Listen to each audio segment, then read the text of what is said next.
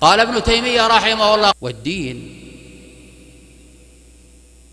إنما انتشر بالعلم بالعلم ما هو بالجهاد. ولذلك يقول رحمه الله يقول لو أن الناس آمنوا بالبرهان وبالعلم الشرعي لما احتوج إلى الجهاد. لما؟ قال لأن الحاجة إلى الجهاد ضرورة ضرورة فقط. أما الحاجة إلى العلم الشرعي وبيان العلم الشرعي يقول في كل زمن وفي كل حال يكون واجبا.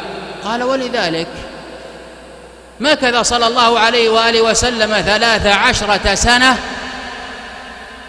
يدعو الناس بالعلم الشرعي بالقرآن. يقول فآمن المهاجرون طوعا من غير سيف. ثم آمن الأنصار طوعا من غير سيف.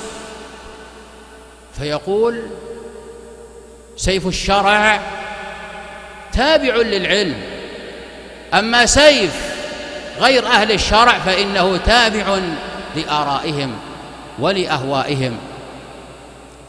فدل هذا كما قال رحمه الله قال رحمه الله دل هذا على أن المقصود من ذلك أن يجادل هؤلاء وأن يبين لهم الحق. عن طريق كتاب الله وسنة رسول الله صلى الله عليه وآله وسلم. قال والآيات كثيرة جدا في كتاب الله عز وجل مما يبين ذلك.